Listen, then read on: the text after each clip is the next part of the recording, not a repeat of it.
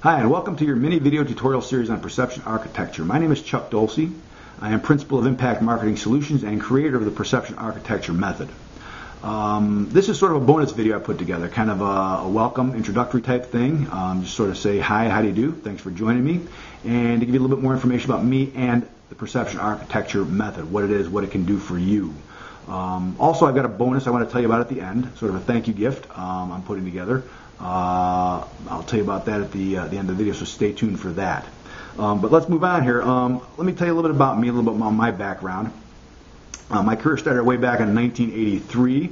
Um, I spent 17 years uh, working as an analyst and broker on the floor of one of the world's largest financial exchanges. Uh, from there, I spent seven years as head of uh, product management and, um, and sales for a leading international software developer, developing trading software uh, for professional traders. Uh, for the past five years, I have been uh, working as a marketing consultant full time uh, for financial publishers and financial professionals alike. And somewhere in there, for about a year, I took off. Actually, um, spent six six months or so kicking around Europe and the UK, visiting friends, seeing the sights, enjoying the hospitality of the locals, and taking a ton of pictures. Frankly, um, if you can ever swing something like that, I highly recommend it. The pay is crap but the experience will last a lifetime. Um, anyway, what else can I uh, what else can I tell you about me? Um, I'm a Chicago boy, born and raised. I am a Cub fan. I'm a Bear fan. Uh, I'm an opera fan. And now you're asking yourself, how much tragedy can one man stand? Um, uh, what else? I am uh, an unapologetic libertarian. I'm a cigar aficionado. Uh, I think the Austrians are the only economists who got it right. I think Ann, uh, Atlas Shrugged is one of the greatest books ever written and I think that nec- uh, Scotch is the nectar of the gods. So uh, take away from that what you will. Um, you can read my whole story actually if you want on the web uh, on the web page. Um, I'm still trying to sell the rights to that to Spielberg, but we'll haven't heard back from him yet, so we'll see what happens. Anyway, what I want to talk to you about now is a little bit more about perception architecture, what it is, how it works, what it can do for you. Um, I created the perception architecture concept in response of, to the uh, financial crisis of uh, 2007 2008. Uh, when uh, the market started melting down like they did, I knew that a lot of things were going to change from, from, a regulatory perspective uh, to the way investors viewed markets to the way investors viewed market professionals, financial professionals, planners, advisors, um, wealth managers. and I knew that the way financial professionals were going to have to communicate with their prospects and their clients was going to have to change as well too. So in response to all that, I kind of took my unique uh, unique background and um, uh, created this, this this this method I call perception architecture. Um, so what is it? What is perception architecture? Well, um, traditional marketing, if I could just back up for a second, traditional marketing is kind of done in a linear fashion. Uh, you have your uh, your product, your service here. Um, you create a marketing message. You take it to your market. You fire away. The problem with that is that once your message hits the market, you can never really be sure how they're going to perceive the message you're trying to tell them in a positive light and a negative light, in an apathetic light even.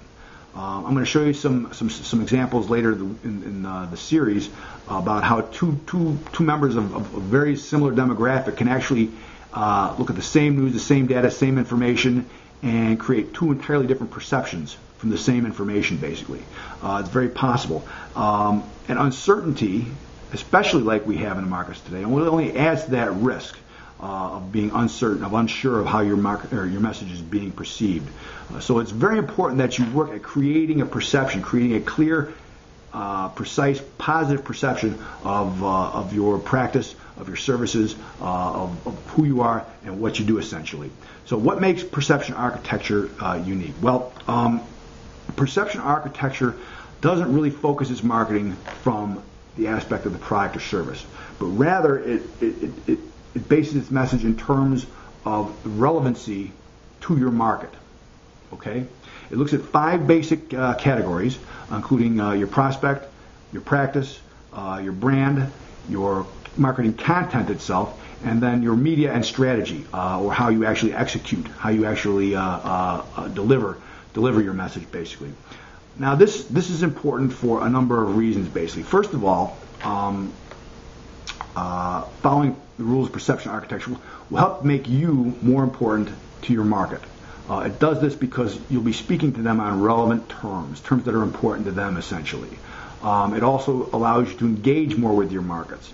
And studies have shown basically that more engaged clients actually offer more referral business. Uh, so there's another benefit there. Uh, it also lets you leverage your marketing as well too. Uh, you get more mileage out of the marketing that you have, and that allows you to, to, to spend more time working with your clients, working in your business, creating stronger bonds with your with your with your with your clients, uh, and, uh, and, and, essentially um, uh, building a better clientele, basically. Um, I passionately believe in the perception architecture method. I think that all marketing um, going forward is going to have to start being done from a deep understanding of, uh, of, uh, of your clients, of the prospects, uh, their biases, what they want, what they're looking for, basically. Um, I think the uh, the old days, basically, of just whipping up a mark uh, message and, and, and, sending it out to the market, are basically are basically over and done with, uh, probably for for the foreseeable future, if not forever. So, essentially, that's what I want to share with you in this video series. I want to teach you a little bit more about the the ideas uh, my experience, the things that I know, and uh, and hopefully they'll help you uh, enhance your marketing as well too. So anyway, uh, on to the bonus here. Um, I want your feedback. Um, any questions you have, comments, thoughts, ideas? Love the series, hate the series, whatever. Let me know. Drop me an email. Uh, you should see my email address on the screen here now. Send me an email. Any questions you have. Um, i will be happy to answer. Now, I can't answer questions individually. I have private client business that takes uh, priority, uh, obviously. Um, but what I will do is I'm going to get all your field all your questions in, in, in, several weeks, and what I'm going to do is put together a special report, sort of a, supplement to this video series, uh, where I'll answer your questions, uh, fill in any blanks, offer any any more uh, examples, let's say, for example, that I can, uh, and, and, create more of a, a complete more of a complete resource for you, basically. So uh, be sure to send me your comments and questions um, uh, at the end of this video. Uh, and that's about it for this video. Um, uh, hope you uh, hope you enjoyed it. Hope you found it inf- informative. Uh, keep an eye on your email for the link to tomorrow's video, and we'll see you then. Thanks very much.